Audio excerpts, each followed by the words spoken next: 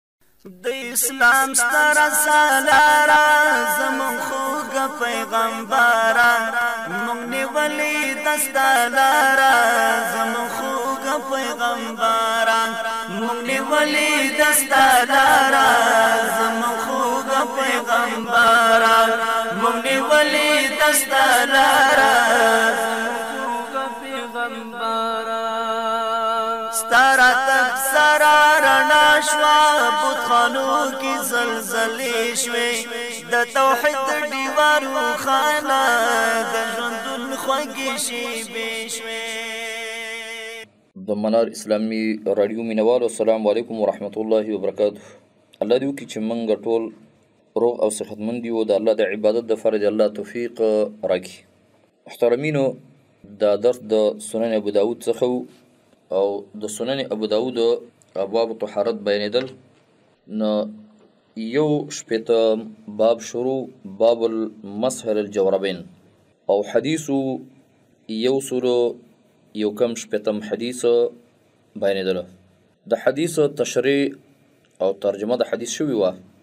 سبق زمنګ دې زین تر رسیدلو چې قال ابو داود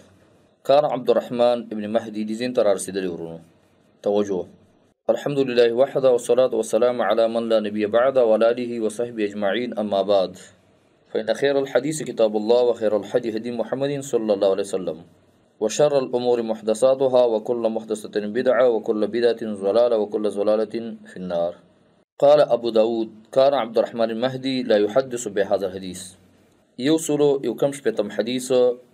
امام ابو داود ذکر کړلو امام ابو داود په دې حدیث باندې کلام کوي کلام د امام ابو داود دا دی چې وی عبدالرحمن ابن مهدی دا حدیث به نه بیانولو چې کوم حدیث مغره ابن شعبه حزیل ابن شرحبیل روایت کړی دی چې رسول الله صلی الله علیه وسلم اودس وکړل او مسح په جورا باندې وکړله نه دا حدیث عبدالرحمن ابن مهدي نه به بیانولو نه به ذکر کولو وجه ولا دا ذکر کړی دا چې دا حدیث د ولې نه بیانولو ولې به نه ذکر کولو ځکه چې د مغیره ابن شعبه څوم روایتونه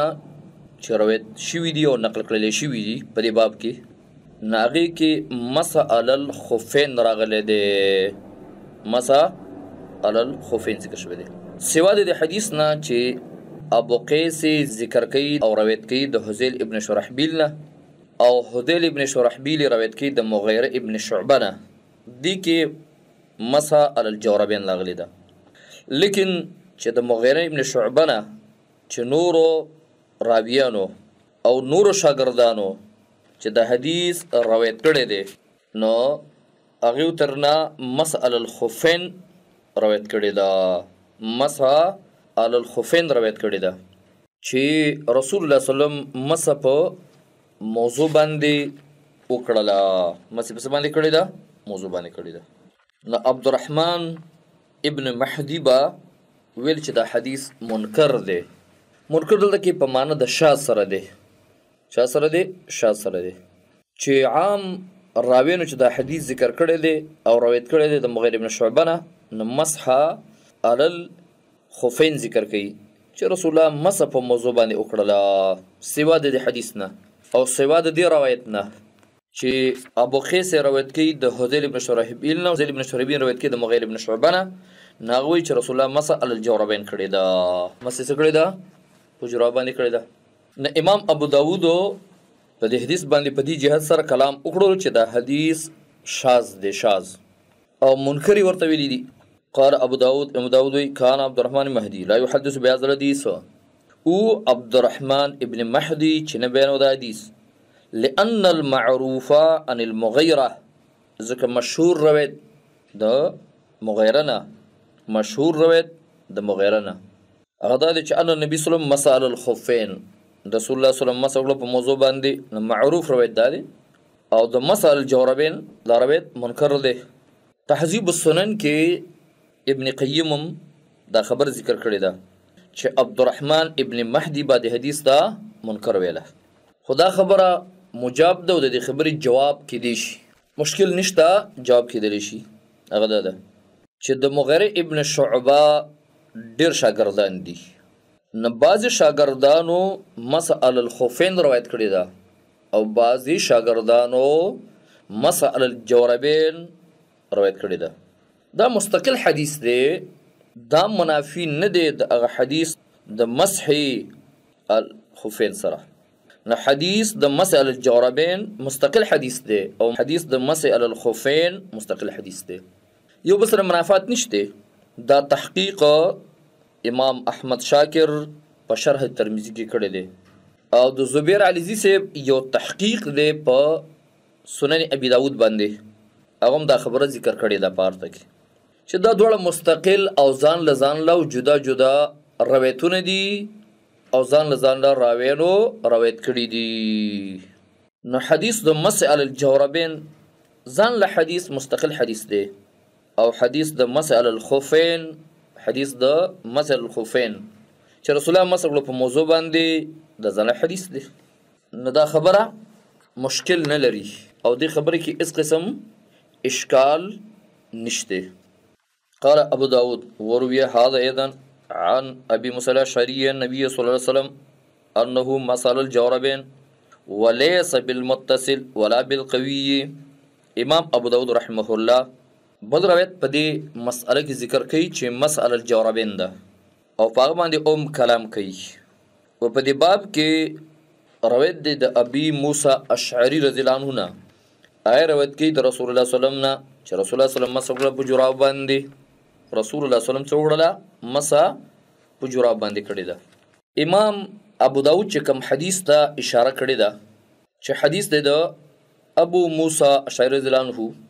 امام بهقی رحمه الله په دې سند سره هغه ذکر کړی چه عیسی ابن انس روایت ذکر کړي د ابي سنان نه او ابو سنان روایت ذکر کړي د زحاک ابن عبد الرحمن نه او هغه روایت ذکر کړي د ابي موسی شری رضی الله عنه نه قال هغه ماوی د رسول الله سلام چې ما سوګړل په جراب او فنانو باندې خو امام ابو داود وی چې وليس بالمتصل د حدیث کې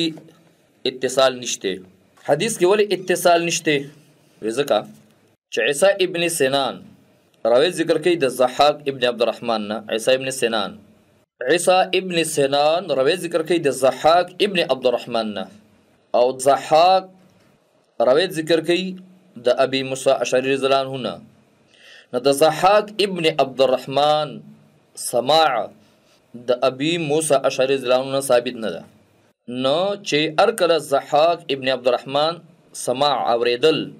د دې حدیث د ابو موسی اشعری زرانو ثابت نه دي نه حدیث کې عدم اتصال را للی حدیث متصل نه دی په باب کې اتصال پکې نشته انقطاع را لله ان حدیث مینس کې پرېکړل شوی دی ځکه چې ضحاک ابن عبدالرحمن سماع د ابو موسی اشعری زرانو ثابت نه ده اوریدل ثابت نه دي نو هر کله چې د ضحاک اوریدل د ابي موسی اشعري ځنه ثابت نشو نو حدیث منقطع شو انقطاع د حدیث رالاله نزدک امام ابو داود وی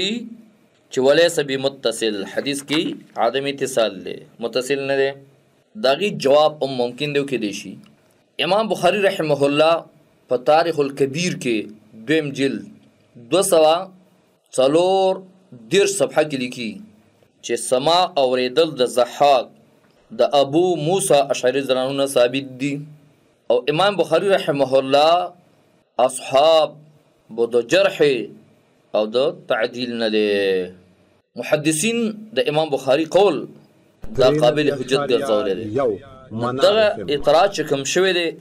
امام ابو داود ذکر کړی دی د عدم اتصال نه هغه جواب وکړلی شو چې سماع اوریدل د زحاق د ابي موسی شری ځایونه ثابت دي نه حدیث کې انقطاع نشته عدم اتصال نشته بلکې اتصال دی بل امام ابو داود وی ولا بالقوی دا حدیث قوی نه دی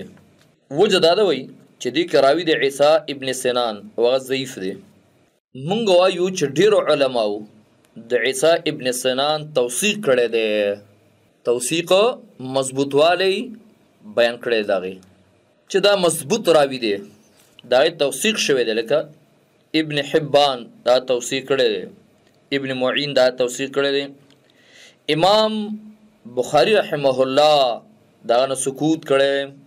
څه کړی دی سکوت کړی دی د دې دور لوی امام د جرح چې امام البانی دی نه هغه هم په سی ابن ماجه کې په سی سنن ابي داود کې د دې حدیث تصحیح کړی دا او دا رنګي امام احمد شاکر د دې حدیث صحت بیان کړی دی دا رنګ نور علما هم د دې حدیث صحت ذکر کړی دی نه کوم اعتراضونه چې په دې دواړو روایتونو باندې امام ابو داود وکړل ناغه مجاب دی او دغه نه جوابونه ممکن دی کې دي شي البته کومنګ ور سره تسلیم هم کو او دا حدیثونو کې ضعف راشي او کمزورواله راشي خو د دې په تایید کې آثار الصحابه شته عمل د صحابه موجود دی بلکه داسې به وو چې اجماع صحابه په دې کې شته دی اجماع صحابه په دې کې شته یو حدیث ضعیف دی خو بل طرف ته اثار صحابه اعمال صحابه اجماع صحابه موجودی نه حدیث حجت کیږي او قابل استدلال ګرځي ځکه د صحابهونه مسأل الجوربه نقل شوی د مخکې مې درته درس کې بیان وکړلو تقریبا نن له صحابو نه مسح الجوربین روایت شوې ده د دې خلاف په صحابو کې نقل نه راغلی او دا غو ټول اصول کتابونه تسلیم کړي دا چې اجماع صحابه حجت دی او ټول ائمه دا خبره تسلیم کړي دا اصول فقه کې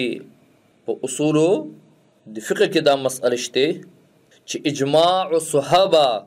بالاتفاق حجت دی قول د صحابي حجت دی چې معارض موجود نه بالاتفاق کله چې قول د صحابي معارض او مقابل موجود شي نو بیا کې اختلاف موجود دی خو چې د قول د صحابي معارض او مقابل موجود نه دی نغه حجت کې دی شي او اجماع د صحابه خو بل اتفاق حجت ده البته په اجماع د من بعدهم کې هغه خلک چې د صحابو نه رستنی خلک دي علما دي مجتهدین دي محدثین دي هغه اجماع وکړله نه پای کې اختلاف موجود دی چې هغه حجت کېدی شي یا حجت کېدی نشي هغه اختلاف موجود دی خو په اجماع د صحابو کې اختلاف هم موجود نه دی ارشاد الفهول کې امام شوکانی دا خبره ذکر کړې ده چې په اجماع د صحابو کې اتفاق دی او په اجماع د من بعدهم کې اختلاف دی نه امام ابو داود رحمه الله اثار الصحابه ذکر کوي اثار الصحابه قال ابو داود وی دا اثار الصحابه ذکر کوي ومصال الجوربين علي ابن ابي طالب مسع کړی دا په جورا باندې علي ابن ابي طالب دا هم په مصنف د عبدالرزاق کې روایت شوی دی مصنف د عبدالرزاق کې دا روایت شوی دی چې کامن عبدالله وایي رأیت علیا بالا ما ویل د علي رضی الله عنه چې مې تیز وکړې مسې وکړې په جراب باندې بیا ودرې د مونځ وکړلم دویم روایت چې امام ابو داود ذکر کړی دی د عبد الله بن مسعود رضی الله عنه نه دا هم په مصنف د عبد الرزاق کې شته چې عبد الله بن مسعود کان يمسو على خفيه ويمسو على جوربيه چې عبد الله بن مسعود به مس په موضوع باندې کوله او مس په جراب باندې کوله دریم اثر دریم روایت د برا ابن عازب دی دا هم په مصنف د عبدالرزاق کې شته چې برا ابن عازب مسال الجوربین کړی ده سلورم روایت د انس بن مالک دی دا هم په مصنف د عبدالرزاق کې شته پنځم روایت د ابو امامه شپږم روایت د سالم بن سعد اوم روایت د عمرو بن حریث اتم روایت د عمر بن خطاب نه هم د عبد الله ابن عباس امام ابو داود رحمه الله د نه صحابه اثار ذکر کړل چې ذکر کړل اثار ذکر کړل چې نه صحابه نه مسح علی الجوربین روایت شوی ده تحذیب السنن د ابن قیم چې هغه شرح کړی ده په ابو داود باندې ول صحابه نه روایتونه ذکر کړی دي ول صحابه نه بعض علماو نولس صحابو نه روایتونه ذکر کړی دي نو لهذا مسعل الجورابین بلا قیده بلا شرطه جواز لري په کار دا ده چې یو سړی مسعل الجورابین کوي نو دغه سر اختلاف په دې مسله کې اون رړل شي او هغه ته غلط او بد نسبت اون کړل شي کوم سړی عمل بالعزیمت کوي او چې زه خپې وینځم وی دینځي مشکل نه لري یو سره چې زه مثلا جورابین کوم ودی کی ځکه اثار من صحابه په دې باب کې موجود دي او شته دي نو لہذا چا سره په دې مسأله کې جګړه لانجا کونجا نه ده پکار د دې مسله نه ده کوچا و نکړل په جراب مسه و نکړله نه نه دي کوي هغه به عمل په عظیمت باندې کوي کو چا وکړله ودی کی هغه د بدار اجح کار کی هغه په دې باندې اعتمادي وي نه په هغه دلایل باندې به اعتمادي وي چې کوم په دې باب کې نقل دي خو لیکن اختلاف او جګړه او مناظره او باسونه بعض مسائلو کې دانی پکار او بعضی مسایلو کې د افراد او د تفرید نه ځان ساتل پکار دي دا مو وای کو چا مسه اونګړله ګناګار دی کو چا وګړله نه ګناګار دی دا خبري بیزه باس بیزه جګړه پدې کې نه پکار بابن دا دوش پتم باب دی خو په بعضي نسخو کې لفظ د باب نه دی راغلی خو په اکثرو نسخو د ابو داود کې لفظ د بابون ذکر شوی دی دوه شپېتم باب جوړیږي به وبي قال حدثنا مسدد وعباد بن موسى قال حدثنا هشيم یو سلو شپېتم باب دی دا وما یو سلو شپېتم حدیث دی باب دی دو شپېتم حديث دی يو سلو شپيتم حديث دی راوی اوس ابن ابي اوس ثقفي دی او ان رسول صلی الله علیه وسلم توازا رسول الله صلی الله علیه وسلم او د سوکړو و مساله نه علیه وقدمیه مسوکړلا په موضوع باندې نه علیه په بڼو باندې مسا مسوکړلا نه علیه په بڼو باندې وقدمیه او په جوراب باندې قدمه نه مراد جوراب دي شارحین د ابو داود چې کوم دي لکه عون المعبود یا نور هغه وی چې مراد د دینه قدمه نه مراد جراب مراد دي چې مسه وکړله په پړو باندې او قدمه او په جراب باندې مسه په باندې وکړله په جراب باندې نزدک هم امام ابو داود دا روایت په دې باب کې راوړلو باب قائم کړلو خو ترجمه الباب نه دی قائم کړي ترجمه الباب نه دی قائم کړي دا غي نقطه وجه هم داوا چې په دې حدیث کې صراحتا لفظ د جوربه نه دی ذکر شوی لفظ د قدمه ذکر شوی دی خو محدثین د قدمه نه مراد جوربین اخلي چې مسه وکړل په جوراب باندې وقال عباد وی ماویل د رسول الله صلی الله علیه وسلم اتا کذات قوم رالله اغزه دا او داسه دی قوم ته یعنی المزاءه ولم یذکر مسدد داروی چې مسدد ذکر کړی دی ناغه لفظ د میزا اتاو د کې زامن دی ذکر کړی ثم متفقا به دوړه متفق دی په باقی الفاظ د حدیث کې غرض د امام ابو داود دیو چې د مسدد او د عباد اختلاف په دې حدیث کې موجود دی اختلافي موجود دی نو په الفاظو کې اختلاف شته څه کېشته دی الفاظو کې اختلاف شته دی خو اصل معنی کې او په اصل مراد کې اختلاف نه لري سو متفقه متفق دي دا دواړه په باقي الفاظو کې د حدیث کې په توازو او د سو کو مساله نه عليه او مسوکړه په پړو باندې وقدمه او په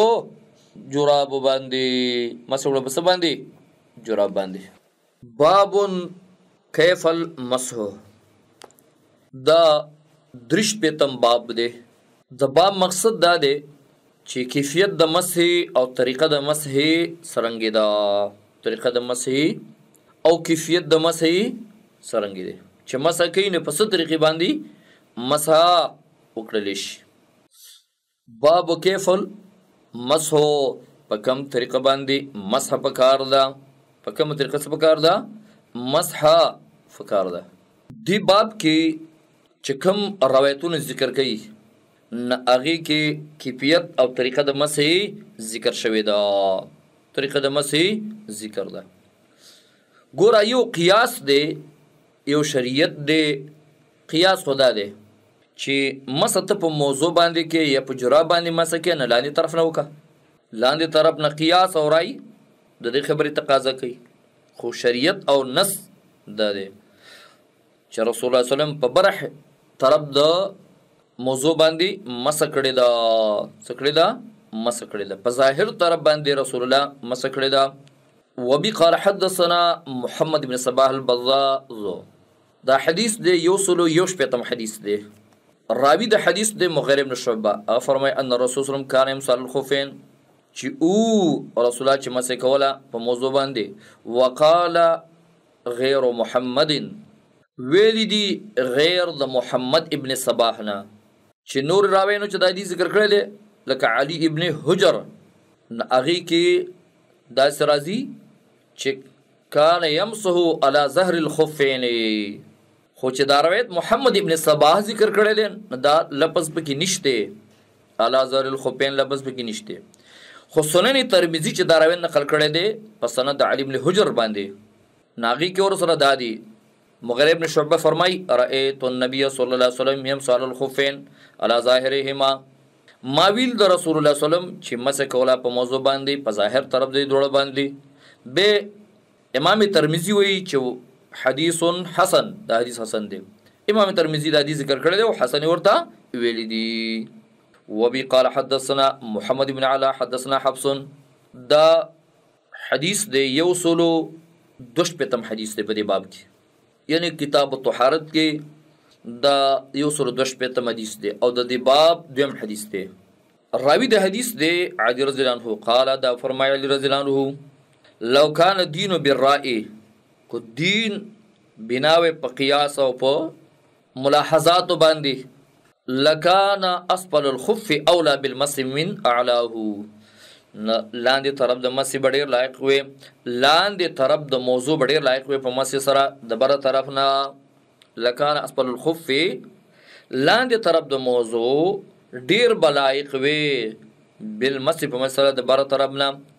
ځکه چې لاندې طرف د موضوع هغه د زمکه سره لګي او کو ګندګي مندګي رسیږي هغه طرف ته رسیږي لاندې طرف ته رسیږي بر طرف ته محفوظ وي هغه بچ وي خو چین کې د دین تعلق د قیاس سره نه وقد رأيت رسول الله صلی الله علیه وسلم ما ویل د رسول الله صلی الله علیه وسلم يم صلا ظاهر خفيه چې رسول الله صلی الله علیه وسلم مسکولا په ظاهر د موضوع باندې رسول الله صلی الله علیه وسلم مسکولا په ظاهر د موضوع اسناد د حدیث صحیح دی حافظ ابن حجر په بلوغ المرام کې لیکي چې اسناده حسن سند یې څه دی حسن دی خو حافظ ابن حجر په تلخیص الحبیر کې لیکلي دي چې اسناد دی صحیح دی اسناد څه دی صحیح دی وبي قال حدثنا محمد بن رافع دا حدیث د یو سلو درش په تم نمبر دا حدیث ذکر کوي اعمش په دغه سند مذکور سره قال علی زم فرمای ما كنت ارى ببعض الخدمين ما كنت ارى باطن القدمين الا حق بالغسل وی نه ګڼم زه باطن طرف د قدمونو مګر لایق په وینځلو سره لایق په چا سره وینځلو سره حتی تر دې چې ما ویل رسول الله سلام چې مسې کوله په ظاهر د موضوع باندې د قول مقصد څه دی د یعنی ظاهر د خفینو رسولا مسکړلو زما په ګومان باندې باطن طرف د موضوع مسه فکار وه مسه سوا فکار وه شاه ولی الله محدث دهلوی په شرح المواطا کې لیکي چې د امام شافعي رحمه الله مسلک او رائي دا ده چي بره طرف او لاندي طرف به دواړه د موضوع مسح کوي شي خو بره طرف فرض دی او لاندي طرف سنت دی په مسح کي د امام بولیف رحمه الله رای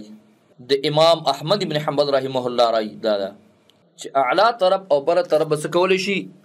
مسح کولی شي چې کوم اعلا طرف دی او بره طرف دی دا مسح کول غواړي دا د امام بونیفه او د امام احمد رحمه الله رای ده طریقه د مسح علماو ذکر کړې ده چې د لاسونو ګوتې به د ښي لاس ګوتې او د ګس لاس ګوتې دا به په موضوع باندې کېښودل شي د ښي لاس ګوتې د ښي خپې په موضوع باندې د ګس لاس ګوتې د ګسې موضوع په خپه باندې کېښودل شي، ګوتو کې به پراخوالی راشي او پورته طرف ته به راښکلې شي، پورته طرف ته رابه شي او په دا ګوتې به خطونه وباسي په دې خپه کې دې طریقه ده وبي قال حدثنا محمد ابن علا حدیث دی یو سلو څلور شپېتم لمبر په دې باب کې علی رضی الله فرمای لو کان دین برای کو چیرته وی دین برای لکان بعد قدمین حق لکان باطن قدمین احق بالمس من ظاهرهما نه باطن د قدمونو با ډیر لایق وي په مسره ظاهر دی دوړ نه مسکړي نبی صلی الله علیه وسلم په ظاهر د موضوع باندې ورواه وکیع عن مش باسناده نقل کړی د حدیث وکیع د مش نه په سند مذکور قال وی علی رضی الله عنه چې كنت ارا زګومان کوم زما علم دا دی چې باطن د قدمونو ډیر لایق دی په مسح سره د ظاهر نه تر دې چې ما ویل رسول الله سلام چې مسح کوله په ظاهر باندې قال وکوي یعنی الخفین په موضوع باندې وروا عیسی ابن یوسف عن الاعمش نقل کړی عیسی ابن یونس د حدیث د عمش نه لکه څنګه چې نقل کړی وکیه د عمش نه ورواه نقل کړی د ابو الصو دا د ابن عبد الخير نه هغه نقل کوي عن ابيه د فلار دینه قراغوي ماویل د علی رضی الله عنه چې مسه کوله فاصل ظاهر قدمه مسه کړه ظاهر د قدمونو وقال دا وی رسول څوک عادی رضی الله کومه نه ویل رسول الله سلام چې دا کار کړی وي نو ما به مسه په لاندې طرف باندې کړی وی وساق الحديث او ذکر کړی دا حدیث ساق الحديث دا حدیث دا اول نه تر اخره ذکر کړی وبي قال حدثنا موسى بن مروان ومحمود بن خالد دمشقي المعنى دا حدیث دی یو سلو څلور شپېتم کاتب د مغیر ابن شعبه روایت کوي د مغیر شعبه نه قال دا وایي وزعت نبی صلی الله علیه وسلم په غزوه تبوک وضعتو اوبه مې د اوداسه تیر کړې د نبی صلی الله علیه وسلم لرا تیارې مې کړې اوبه د اوداسه رسول الله صلی الله علیه وسلم لرا په غزوه تبوک کې په مسعر الخفین مسح کړل په بر طرف باندې هم او فلان طرف باندې هم لاندې طرف او بر طرف باندې څو کړل مس وکړل قا دې حدیث نه ثابت شول چې رسول الله مسا په بر طرف د موضوع هم کړی دا او په لاندې طرف د موضوع هم کړی دا خو دا حدیث ندن ضعیف دی علماء په دې حدیث باندې کلام کړی دی قرأ ابو داود امام ابو داود هم د دې ځوب بیانې رسید ما دا چې انه لم يسمع الثور هذا حدیث من رجا ځکه دا حدیث ثور ابن یزید نقل کوي د رجا ابن هیواتنه خو اوریدل د ثور د رجا نه ثابت ندی نه چې ثابت نشو حدیث منقطع شو حدیث څه شو منقطع شو امام ترمذی وی چې ما د ابو زرعه او د امام بخاری نه تفوس کو بار دی حدیث کې هغه ډول چې لیسه به صحیح دا حدیث کوم دی صحیح نه دی